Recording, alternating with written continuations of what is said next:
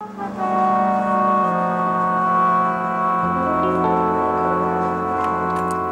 know you decided that this was the only thing to do, but why am I getting cold feet?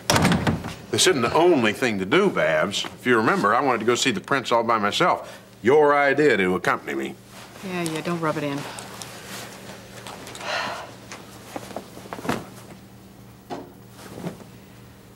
What are you doing? I want to be me, Babs Farley, okay? I'm sick of all these stupid disguises. I mean, I never know if somebody's waiting for me around the corner, if somebody's following me, or. You don't suppose that Cardello knows I'm here? I mean, you know, this whole thing could be a setup. Lance could be down there right now waiting for me. Babs, I'm absolutely sure that Vince doesn't have any idea you're going to be here. Yeah, sure, just like uh, he doesn't know that, you know, he's the prince. Is there a back way out of this place? No, there's not. Now, Babs, just listen to me. This is our only alternative now. I just don't know if I can go through with it, that's oh, all. of course you can. No, no, look, uh, look, it'd be better if I just left the country like I said I'd do. It'd be better for everybody, okay? No, Babs, I'm not going to let you do that. Now, just look, Babs, this is our only chance. Oh, Harold, no, I don't want to. Babs, look, if we can convince Cardello that you know about the skimming operation, then you'll be free. Yeah. Free. Or dead.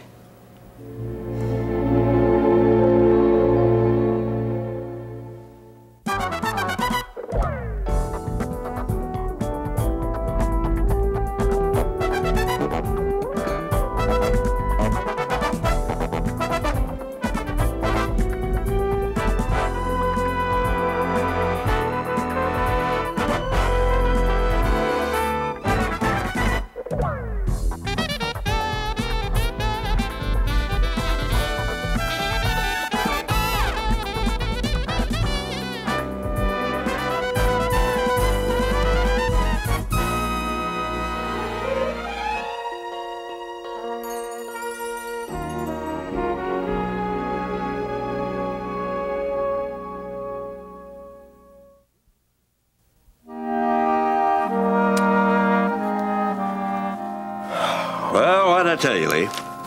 Looks like Wainwright's the man to beat. It's official, huh? Well, the article says that Oliver's going to endorse him any day now. you, Wainwright. The right media blitz can turn Elmer Fudd into Abraham Lincoln, and Wainwright's got some very good people behind him. Media. Me- Why is everybody always talking about media? And maybe he doesn't take a stand on things. So what? At least he doesn't alienate anybody. well, what are you saying I do? All I'm saying is that issues aren't everything, not anymore. And you keep forgetting, Lee. Wainwright looks the part. Looks the part. Oh, I'm not talking about hunk of the month. I'm talking about the United States Congress. People want to have some trust in their man. Wainwright oozes trust, stability. Okay, all right, Sebastian, I know what you're getting at. He's been married 15 years. He's got three kids. He goes to church every Sunday. His wife and children are right there with him. You get the picture?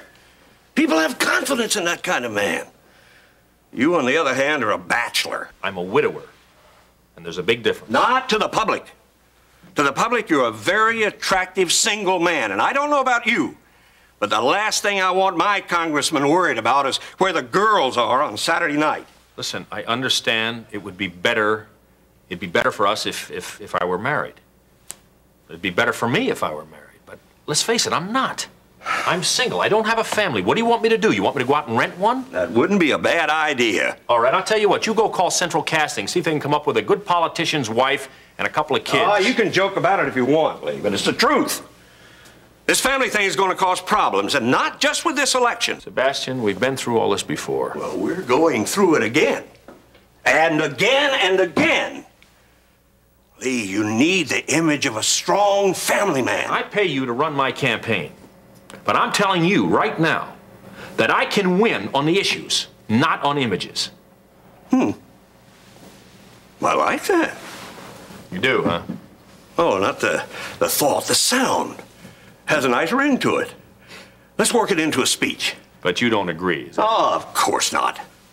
But it makes a great campaign slogan. Yeah. Oh, yeah, please send her in. I can use a good interruption. This is, uh, this is Amber Phillips, Kate's daughter. Hi, Hi, Lee. May I come in? How are you, Amber? It's nice to see you. You sure can. You know this fella? This is uh, Sebastian Knight. He's my campaign manager. We met briefly during your last campaign. Mother's told me wonderful things about you. Why, thank you. nice to see you again. Listen, you think we might be able to finish this up later? Sure. But we have a great opportunity here. Why don't we ask the average voter what she thinks of your image?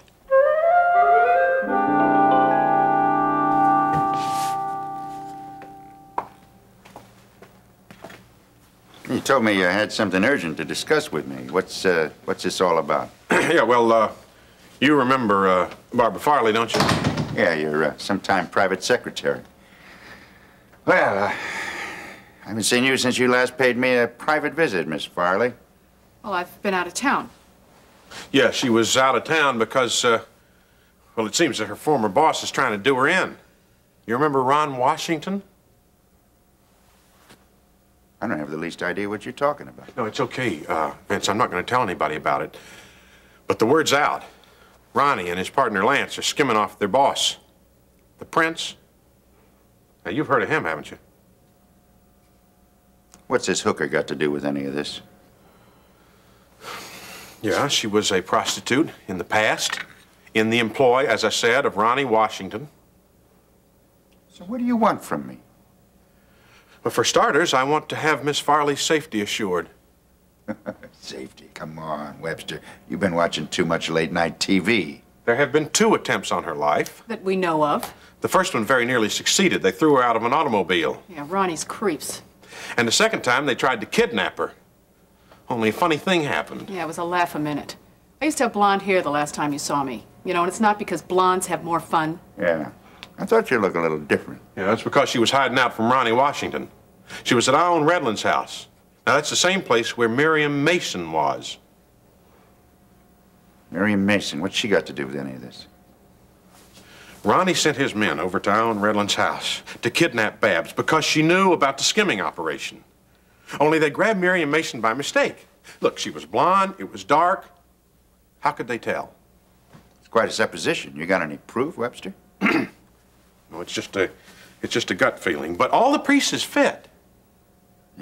Well, I don't deal in gut feelings, you see. I deal in facts. Now, it is a fact that uh, pimps, though very seldom get involved in things like kidnapping, but it is also a fact that sometimes their broads try to wreak havoc on them for being pushed aside. Goodbye. Vince, if you know who the prince is, I'd suggest that you tell him to check it out. Remember I told you that I had proof that Ronnie was skimming off the drug operation? Oh, yeah. You told me that, and then you disappeared. You told me you had some evidence, but you were going to bring it to me. What happened to it? Well, I made copies of Ronnie's books, both sets. And I thought I had him in a safe place, except, well, I found out later I was wrong. She hid the stuff down inside the lining of Miriam Mason's handbag. Oh, and that was the same handbag that Miriam Mason happened to have with her when she was, That's uh... right. Give that man a cigar. You want my opinion of Lee's image? Yeah. Does the image he projects of his family life appeal to you? Would you have uh, confidence in him? I rather doubt that my opinion would be statistically significant. You see, I'm very prejudiced where Lee's personal life is concerned. Thank you, Amber. You see? No problem. I've got no problem with women and single voters. I told you that. Yeah, well, unfortunately, they take up a very small percentage of the voting profile. But I wouldn't let a little thing like that worry me. Well, I'll check with you later. I've got some calls to make. All right, we'll see you later, Sebastian. Nice to have seen you, Amber. My pleasure. What was that all about? Well, I'm sorry about Sebastian. Nothing really. He's just, uh, he gets on these kicks sometimes, you know? And he's got this Neanderthal notion that a man's got to have six kids and a wife to get elected in this state. well, I don't know. He may have a point. As I said, my opinion is not typical. I'm delighted with your personal life, especially since it centers around Mother. But, uh, I don't know, single or married, I don't see that it all should matter. What really is important are the issues. Precisely. I want you to know, Lee, that I'm backing you up all the way. Well, I certainly appreciate your endorsement, Amber. And I don't mean necessarily just the race for Congress. Oh? I'd like to level with you, Lee. I want to see you and Mother get together. I think it would be very good for her. And for you. Well, you won't get any argument from me there. And um, I'll level with you. You know, I think Sebastian has a point. Uh, on the other hand, I'm not sure. I think, I think Kate knows that I'd be very, very happy if she were Mrs. Lee Carruthers. But you know, I have this feeling, now maybe you can tell me, I, it seems like there's some dark horse out there somewhere that I don't know about. I guess you know that Dave is back in town. My little sister would love to see them back together again. I'd die first. You hate your father that much? I don't want that man to be any part of my life. And I certainly want to do my part to keep him as far away from Mother as possible. Mr. Cardello, you've got to believe that what I'm telling you is the truth. Do I?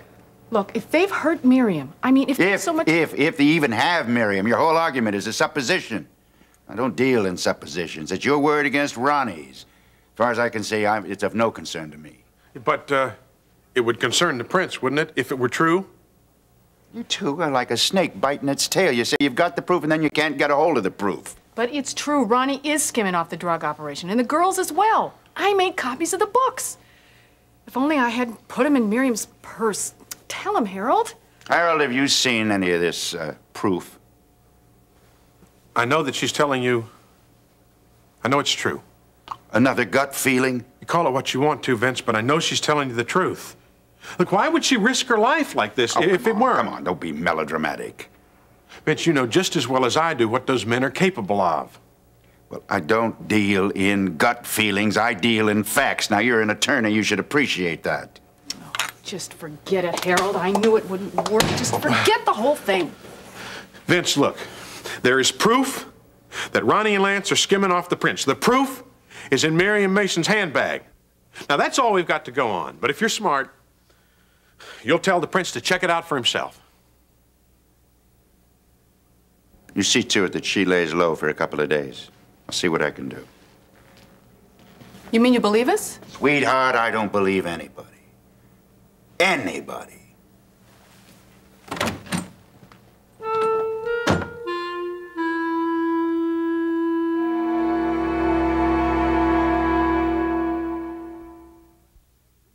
Please, sit down.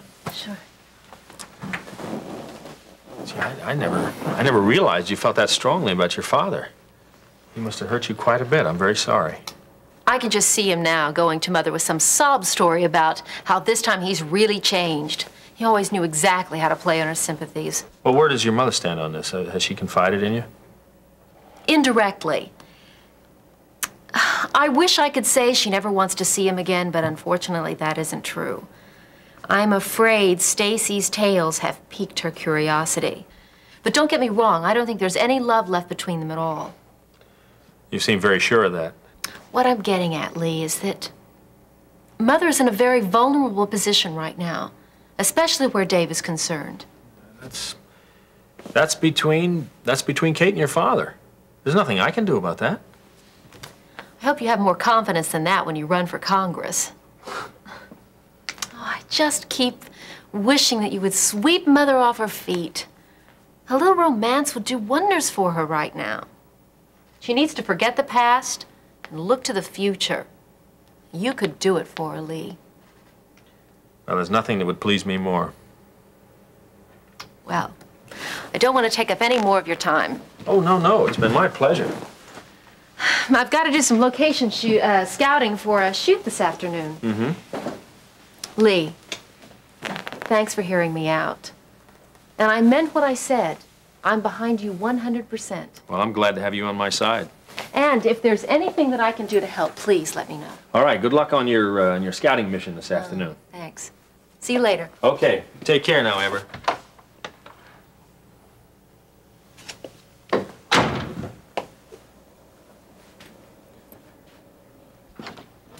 You and Kate Phillips. Ha ha! What a team! Uh, what are you, eavesdropping again, Sebastian? Me? Yeah, or did you somehow have this office bugged? Oh, nonsense. That sort of thing went out with Watergate. Of course, with my ear up against the door, I couldn't help but pick up a word or two now and then. Just a word or two? Oh, Amber's right. What are you waiting for, man? Go after her. With a woman like Kate Phillips at your side, that congressional seat is yours for the asking. Keep secret? Sure, absolutely. Is that the letter? Yeah, this is a copy of it here. Now, I know there must be a clue or something in here, but I can't find it. I've been over this thing so many times, I can't focus anymore. Dear Daddy, I miss you terribly. I'm all right, but the train of my thoughts always leads me back to you. Whew, she sure doesn't write very well, does she? Oh, God. You sound like McGovern. Hey, We're not interested in her style. It just seems so formal. Yeah, well, I'm sorry, little girl. Everyone doesn't have a degree in journalism like you. And what's all this business about the house in Illinois? The Carpenters used to live there. You see, the wrought iron gate, the peach tree, the white rail along the porch. Why would she mention that here? Hmm. Webster said her father can't make any sense out of that either. Unless those months of captivity have finally gotten to her. You think she's lost it? She had a nervous breakdown nearly a year ago. Drug problem, mostly pills. Who knows what she was thinking under that kind of stress? I don't know, Jean. This letter doesn't strike me that way. It seems too carefully thought out, even if it is illogical. You know what I mean? Yeah, yeah, the handwriting's very meticulous. Every I I's dotted, every T crossed. She misspelled fright. Stacy, you really sound like Michael. You give the girl a break. But why that one particular word and why no other? And why did you spell it like freight? Coincidence? You're the one looking for clues. Huh. Freight. Freight. And what's this hash mark next to her name? Beats me, nobody knows. Oh, it looks like a ladder or something. Yeah, maybe. Maybe. The train of my thoughts always leads me back to you. I still say that's a funny way to put it. Wait a minute, what did you just say? I said it's a funny way to put it. No, before that, let me see this. The train of my thoughts. Hey, you might be onto something there.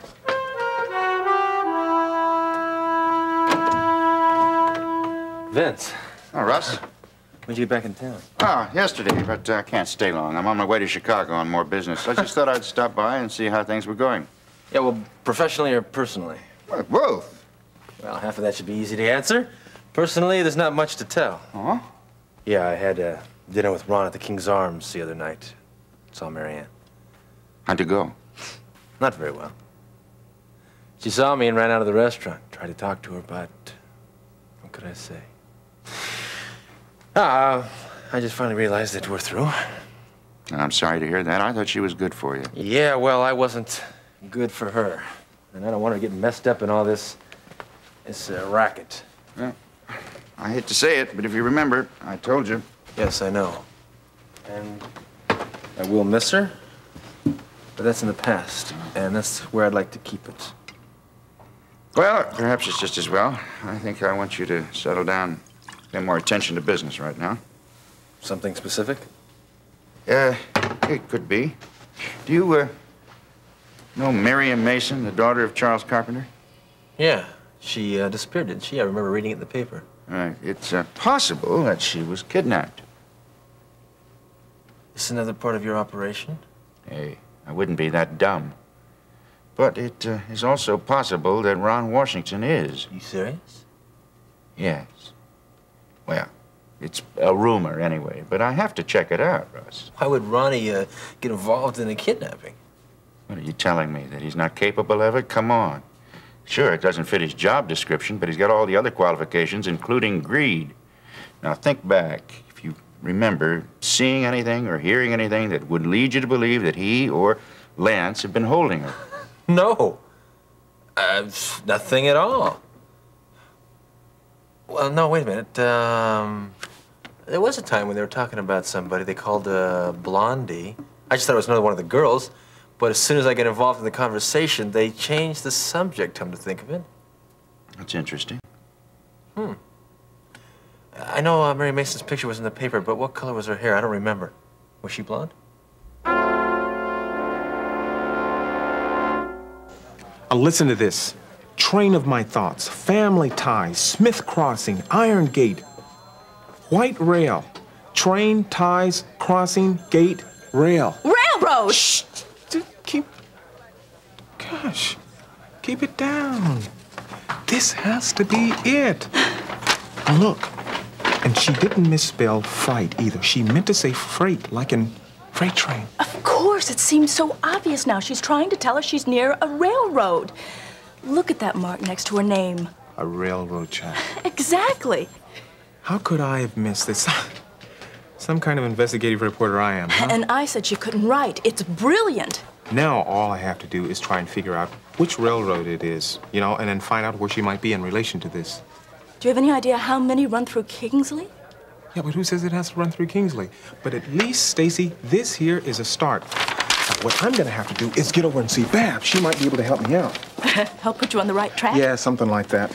Well, look, I'll hold down the fort here. If you need anything, let me know. Yeah, sure. You know what? What? This might be the big start that we've been waiting for. You know what I mean? Wish me luck. Don't say anything. You bet. Keep in touch.